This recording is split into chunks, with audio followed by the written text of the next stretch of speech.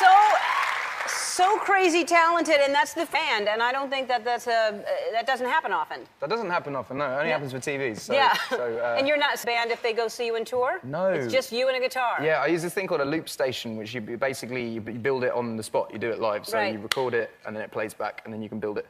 Yeah, it's very hard to do too. So it's you just with a guitar and the loop station, and you sold out three shows at Madison Square Garden in Mm-hmm. moments. That is pretty impressive. On tour with Taylor Swift, and and this CD was uh, produced by Pharrell, and uh, really really cool. I mean.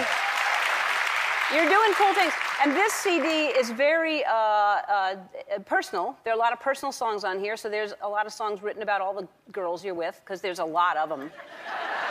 I hear the stories. There's a lot of girls. So write that about. Because listen to the. For me and her, we make money the same way. Four cities, two planes, the same day. You were with Taylor Swift a lot.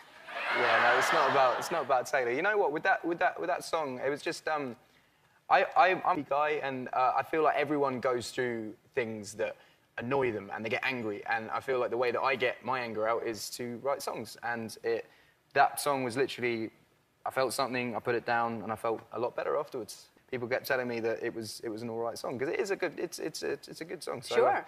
yeah, um, so it ended up on the record, but yeah, Right. that, that, that one is a bit personal. And it- she, and whoever she is, it obviously knows it's about her. Well, it was about you. I thought you didn't. Oh. It was about that time that Yeah. we went on a Nope. marathon spree of just challenge different cities on the same Don't day. speak. You can go to our website to win tickets to his upcoming tour. Ed is going to film The Fault in Our Stars, and everyone in the audience is going home with a copy of his new CD called Multiply. And that is the very talented Ed Sheeran.